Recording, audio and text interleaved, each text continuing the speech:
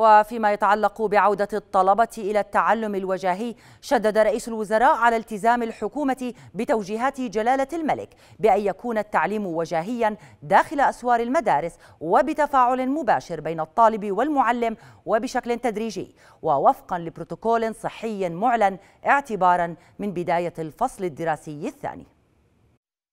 أما بشأن دوام المدارس فتلتزم الحكومة كما وجهنا جلالة الملك المعظم بأن يعود وجاهيا داخل أسوار مدارسنا وبتفاعل مباشر بين الطالب والمعلم وبشكل تدريجي وآمن ووفق بروتوكول صحي معلن.